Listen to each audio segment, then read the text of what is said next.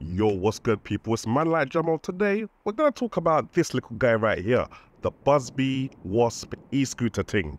So let's go.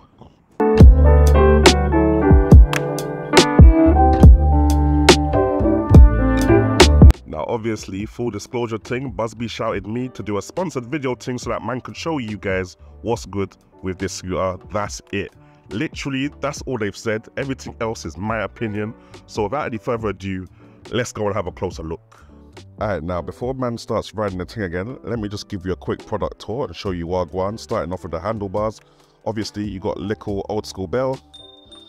Most of these electric mobility scooters, they have the electronic belting, the ang ang, but you know, old school settings, fam. Not much handlebar space to put like a phone holder or anything like that on it, which would have been sick, fam. Like if you're going somewhere you don't know where you're going. Um, but I guess these are for micro mobility, so you know, short distances. And if you're going a short distance, it's most likely you know where you're going in the first place. Anyway, anyway, you got a little brake here, a little um, physical brake, which shuts off the motor, puts on engine slowing, as well as pulling the rear disc brake right here and that rear disc brake also sets off the rear brake light um, which you can probably see in this b-roll better at night time now it's to be kind of hard for me to show you this because my shutter speed is mad high at the moment but you got a little display here.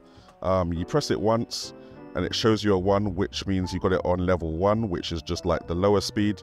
Set it to two, which is actually the top speed, and then you set it to three, which you would think is a faster speed, but it's actually the walking speed, isn't it? So if you want to walk with your scooter, but you want it to, I don't know, I don't know why you'd want a walking speed on a scooter, but the option is there, isn't it? Obviously, you got the throttle here and thing like that as well. Um, standard grips. I guess you could get shorter grips and then use some of that handlebar space to mount like a phone mount. But yeah, like I said, there's not much space to mount a phone mount here if you really wanted to. On the front now, you got another light here, which is kind of cool. You tap it once and that turns on and you tap it again, it turns off. I think I just turned it on actually. And now it's off. Yeah, there we go. But like I said, I'm gonna have to show you that at night time because right now the sun is sunning and you can barely see. You can still see it, but barely see what's going on there. Now, as you can see here, fam, um, no suspension, not from what I can see anyway. You got the little grip tape at the bottom there with the Busbi logo. Dunno, the Dunno looks nice. I've never heard of Busbi before, but they're doing their thing.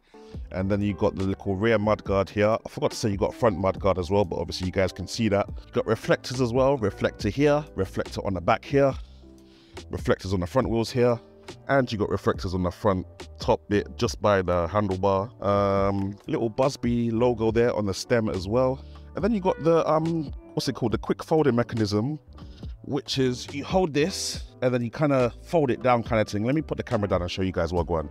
I don't know, I don't even know which one to pull fam. Is it both of them? Oh, there we go. So you have to pull both of them. It's kind of awkward to pull both of them. And then obviously you lean this down. There you go. It's not the heaviest e-scooter that man's held, but it's not light as well. So if you're going up bare flights of stairs, the thing might be long still. There's a little closer look at it when it's all folded up kind of thing. Nice and easy to fit in the yard as well. Now the handlebar does come off, but you have to unscrew it in it. So it came off when it was in the box, like man was first setting it up. But if you want to like fold it down to get a little bit more space when you're going on public transport, it don't do that. nor does it do that when you want to put it in a car as well. So that is the size that it's gonna be when you're slapping it in the back seat. But yeah, kind of kind of light, not the heaviest fam. I'm feeling it still. So, man's been giving this thing a little two-two riding that I can't even show you me riding it in certain places due to the law being what it is. But what I can say is, me being 150 kg, this thing definitely pushes cuz. I feel like it's even got more speed than they're letting on cuz, because when man first gets on it, that initial torque is crazy, fam. You proper feel it go zoom when you're on gear two, in it. Now, when you get to 50 miles per hour, you kind of level out. There's no more torque. You're kind of just zooming along kind of thing.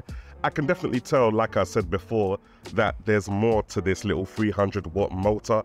I don't know if there's a way to unregulate the motor so that I can go faster. Um, I might ask Busbi, I don't know if they'll tell me because they want to keep everything legal and that. But with a 300 watt motor, I'm assuming that you can do a little bit more than 15.5 miles per hour even with my weight on it. Now, as far as turning and all them things is considered, yeah, it's all good. Man's able to go around corners easy. The turning feels nice and limber.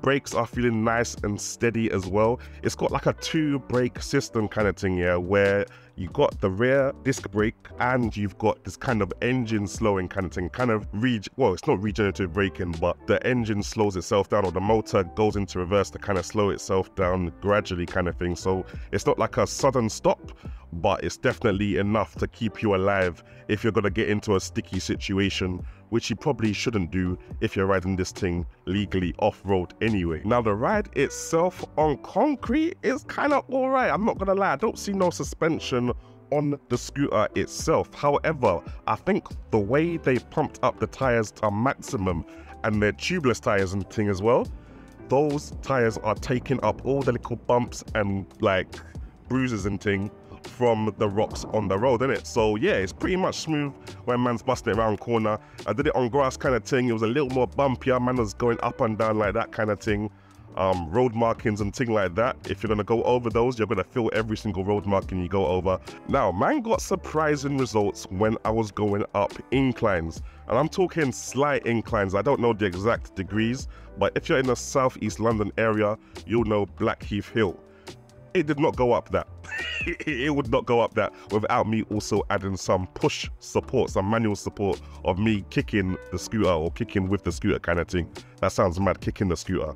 But you get what I'm saying, that man had to do them ones in it to get it going all the way up the hill, which was easier than doing it with a manual scooter. But still, I would love to just sit on the scooter and have it carry me up. But at 150 kg, it's not that for me.